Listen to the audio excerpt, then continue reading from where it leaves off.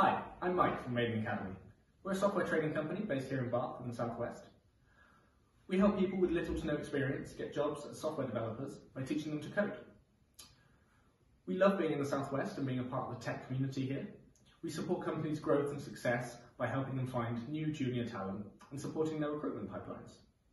We also work with companies to ensure that the skills that we're teaching are exactly what the industry needs.